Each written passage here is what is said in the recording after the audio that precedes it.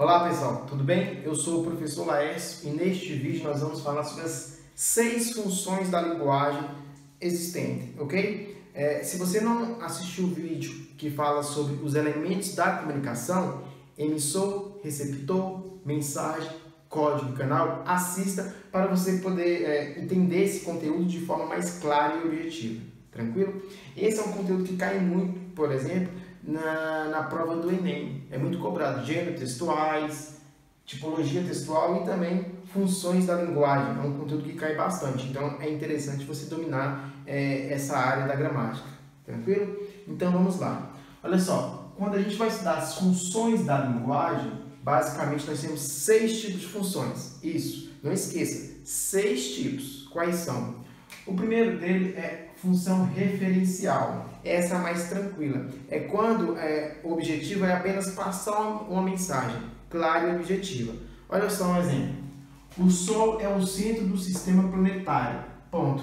A função dessa mensagem é apenas referencial, é trazer uma informação para o leitor. Não quer convencer, não quer mostrar sentimentos nem nada. É só trazer uma, uma informação básica.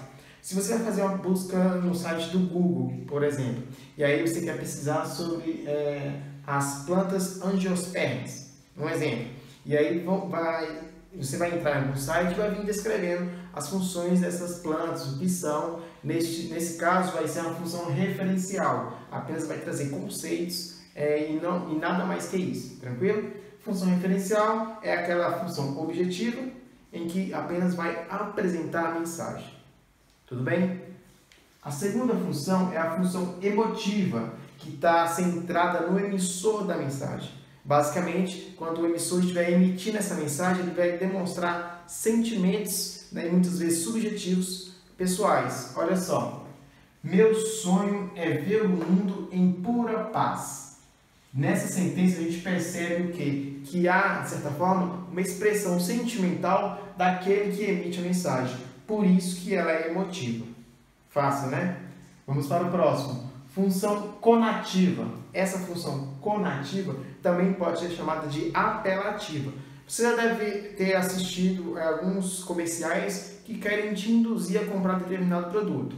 É, quem é mais antigo já deve ter escutado aquele compre batom, compre batom. Olha só, é um exemplo de função conativa ou apelativa, né? É como se estivesse meio te dando uma ordem ou apelando por meio da mensagem. Função conativa. Basicamente, os textos publicitários eles se encaixam nessa função conativa, tranquilo? Que é basicamente centrada no receptor da mensagem. O outro exemplo de função da linguagem que nós temos é a função fática. Essa aqui é centrada no canal de comunicação, para testar o canal. Olha só. Alô? Alô, tudo bem? É, nessa estrutura, esses termos utilizados, alô, alô, é para testar o canal de comunicação. Por isso que, que, que, as pessoas que estão estabelecendo comunicação utilizam, oi, tudo bem? É, você está, está me ouvindo? Essas palavrinhas, elas têm a função fática justamente para tentar é, ver se o canal de comunicação está funcionando. Tranquilo? Então se encaixa aqui na função fática. Nós temos também, é, dentro das seis funções, a metalinguística. Essa aqui é a função fática que está centrada no código. Por exemplo, eu estou aqui, sou professor de língua portuguesa e estou dando aula de língua portuguesa utilizando a língua portuguesa, uma função metalinguística, usando o código para, para falar do próprio código. Olha só um exemplo. A língua portuguesa é bela. Eu estou falando que a língua portuguesa é bela e para falar isso eu estou utilizando a língua portuguesa. Ou seja, é o código falando do próprio código. Perfeito? Neste caso, é uma função que é metalinguística. Tranquilo? Muito fácil. É, a última que nós temos é a função poética. Essa nós vamos encontrar em muitos textos, basicamente em poemas, textos literários e poéticos. Olha só, essa função ela é centrada na mensagem. Olha o exemplo.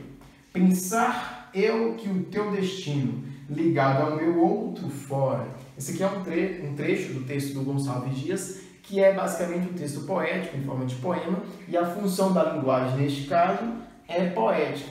Basicamente, você vai encontrar, como eu disse, é essa função poética em textos literários, em poemas, em cantigas, né? Enfim, vários textos é, ligados à literatura. Beleza? Então, esses são seis tipos de funções da linguagem. Ficou com dúvida? Assista o vídeo novamente. Então, vamos lembrar? Função referencial, essa entrada é, no assunto da mensagem. A função emotiva, essa entrada no emissor, aquele que emite a mensagem, por isso que ele pode expressar seus sentimentos. A função conativa, essa entrada no receptor, a fim de convencer o leitor, pode ser chamada também de apelativa. Nós temos a função fática, que é centrada no canal de comunicação. Alô, alô, tudo bem? Para testar o canal de comunicação. Nós temos também a função metalinguística, que é o código falando do próprio código. Né? Eu dei o exemplo aqui da língua portuguesa, mas, por exemplo, eu sou professor. Se eu começo a falar sobre professor, sobre a profissão professor, eu estou, de certa forma, utilizando a linguagem metalinguística. Professor falando da carreira professor, falando de professor linguagem metalinguística. Perfeito? E a outra é a função poética, que é centrada na mensagem. O, é, essa função é basicamente centrada, centrada na mensagem, e aí eu dei o exemplo do poema do Gonçalves Dias, né, que há, de certa forma, uma linguagem poética por trás de, de dar estrutura sintática. Tranquilo? Se ficou com dúvida, assista o vídeo novamente. É, bons estudos, se não é inscrito no canal, se inscreva e até mais.